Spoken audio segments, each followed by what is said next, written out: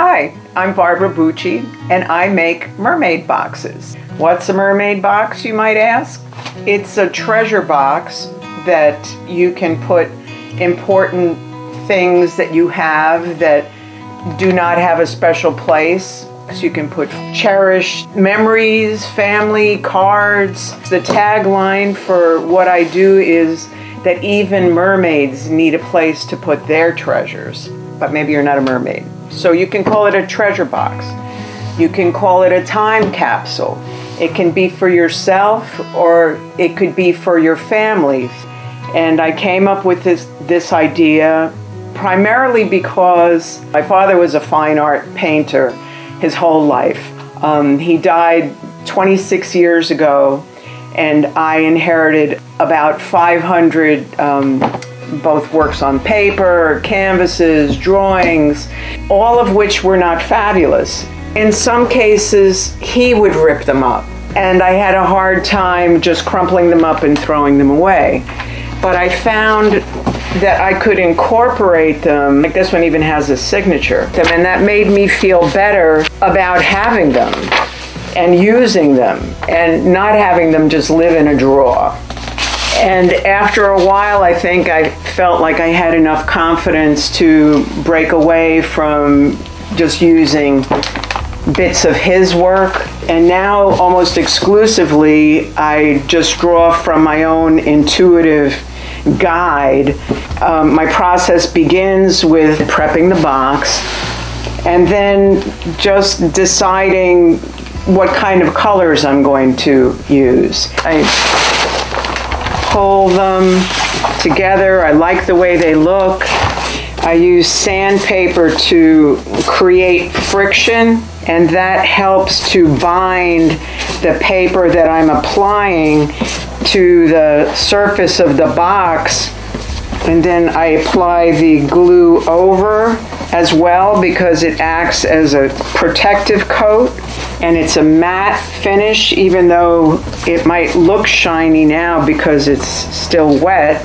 Each box probably takes a minimum of like six to eight hours, not, not the little ones, but these bigger boxes because you have to wait till things dry and then you do another layer on top of it or you're not really happy with the way it looks.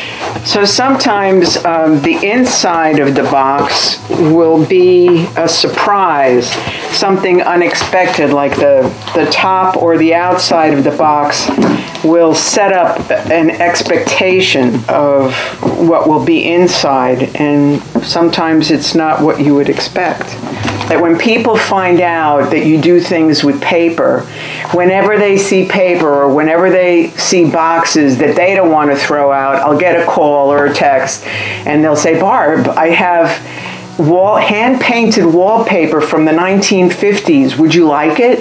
And I don't think I've ever said no to any of it. That helps inspire new creations. This is an example of a mermaid box where I cut out some of that uh, hand painted wallpaper from the 50s. This one is, we'll call it a California box. The inside of the box has scenes that you'll probably be familiar with. And while I'm at it, I want to show you a New York box, which is where I grew up. So more of the wallpaper, more of the map, butterflies, Long Island, Brooklyn, and then of course, very familiar scenes. I like Japanese influence. I like rice paper. This box has a lot of marbleized rice paper on it, this section here and here. And then on the inside, we have kind of a beachy scene going from the sky with the birds down to the ocean. So you, you never really know what to expect. Here's another example of uh, a mermaid box that I have.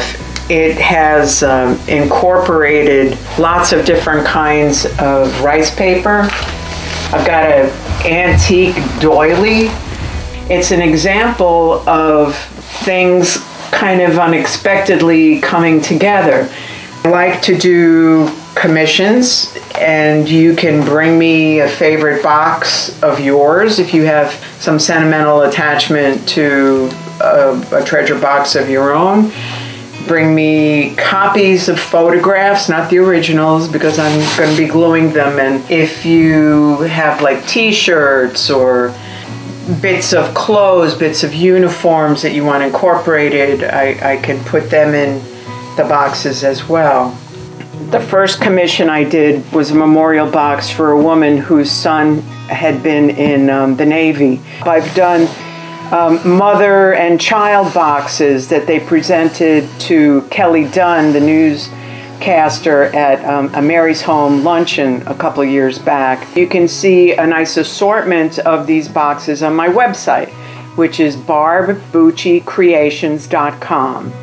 I'll be a stop on the Martin County Open Studio Tour. Our group, our guild, has an art gallery in Sewall's Point. It's called the Palm Room Art Gallery and Artisans Boutique.